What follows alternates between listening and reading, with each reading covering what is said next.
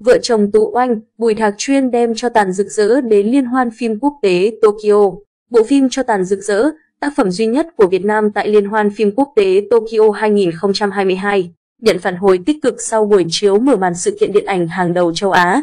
Tối ngày 24 tháng 10, theo giờ Tokyo, đoạn phim cho tàn rực rỡ bước đi trên thảm đỏ khai mạc Liên hoan phim quốc tế Tokyo lần thứ 35. Đây là một trong những tác phẩm có ekip góp mặt đông đảo nhất tại sự kiện điện ảnh năm nay. Đạo diễn Bùi Thạc Chuyên cùng nhà sản xuất Trần Thị Bích Ngọc và hai giám đốc sản xuất Cao Trung Hiếu, Andy võ hội ngộ trên thảm đỏ.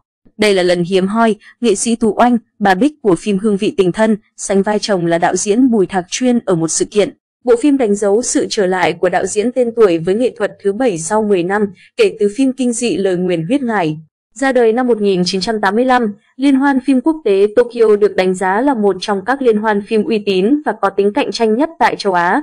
Bên cạnh Lê Hồng Phong quốc tế Busan và Liên hoan phim quốc tế Thượng Hải. Từ 1985 đến 1991, sự kiện diễn ra 2 năm một lần.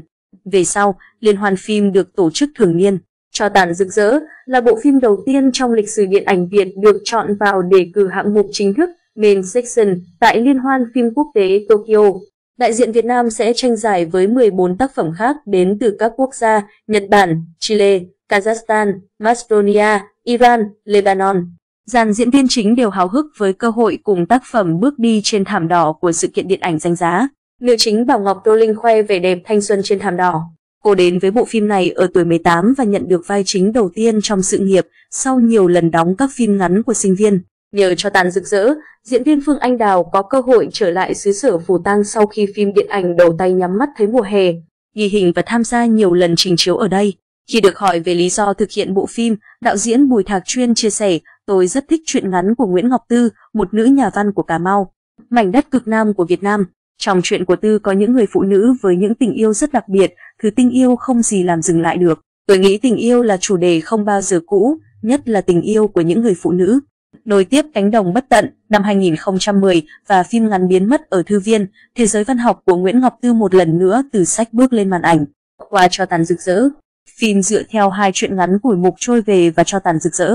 Câu chuyện phim diễn ra ở miền Tây sông nước, khắc họa tình yêu và nỗi đau của ba người đàn bà với người đàn ông của họ. Đúng như tựa đề phim, ngọn lửa và cho tàn xuất hiện xuyên suốt như một ẩn dụ cho cái tình và khát khao được nhìn thấy của những người đàn bà trong phim. Sau khi tranh giải tại Liên hoan phim quốc tế Tokyo, phim sẽ sớm đến với khán giả trong nước, dự kiến chiếu trong năm 2022.